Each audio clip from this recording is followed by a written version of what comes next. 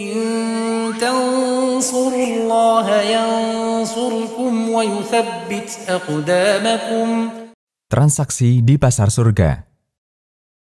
Hadis mengenai keberadaan pasar di surga diriwayatkan dari Anas bin Malik radhiyallahu anhu. Nabi Shallallahu alaihi wasallam bersabda yang artinya, "Sungguh di surga ada pasar yang didatangi penghuni surga setiap Jumat. Bertiuplah angin dari utara mengenai wajah dan pakaian mereka hingga mereka menjadi semakin indah dan tampan." Mereka pulang ke istri-istri mereka dalam keadaan telah bertambah indah dan tampan, Keluarga mereka berkata, Demi Allah, engkau semakin bertambah indah dan tampan. Mereka pun berkata, kalian pun semakin bertambah indah dan cantik. Hadis riwayat Muslim.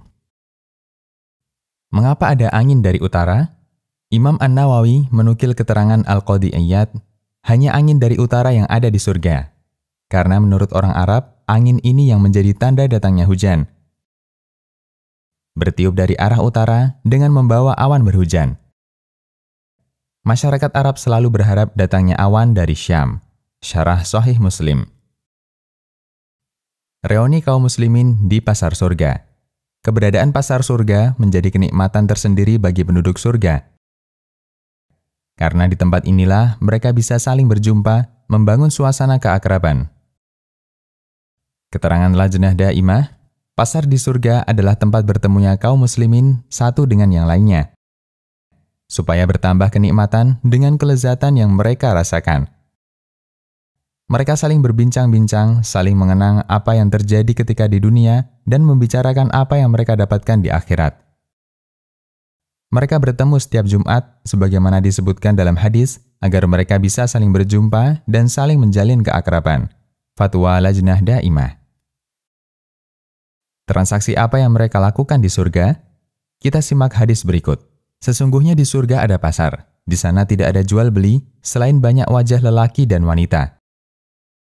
Ketika seseorang menghendaki satu wajah, dia bisa memasukinya. Takhrij hadis. Hadis ini diriwayatkan Turmudi dan beliau memberi isyarat doif. Beliau menyebut hadis ini gharib. Dalam sanad yang dibawakan Turmudi, ada perawi bernama Abdurrahman bin Ishaq dan dia adalah perawi yang doif. Hadisnya mungkar. Dialah yang banyak membawakan hadis mungkar dari Nu'man bin Sa'ad. Dinilai doif oleh Imam Ahmad, Ibnu Sa'ad, Abu Daud, Nasai, dan yang lainnya. Tahdib at-tahdib.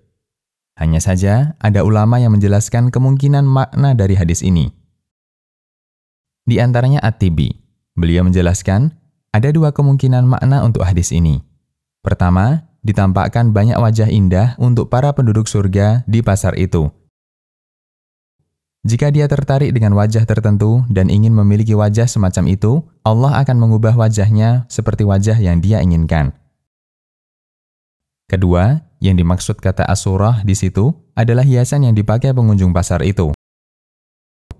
Mereka bisa memilih dan memakai berbagai perhiasan dan mahkota yang disediakan. Dan kedua kemungkinan makna ini berbicara tentang perubahan di sifat dan bukan di dat. Selanjutnya At-Tibi mengatakan, menurut saya, mungkin untuk dikompromikan antara kedua hadis itu. Sehingga sesuai dengan hadis Anas bin Malik, bertiuplah angin dari utara mengenai wajah dan pakaian mereka sehingga mereka semakin indah dan tampan. Al-Kashif an Haqa'iq As-Sunan. Demikian, Allahu A'lam.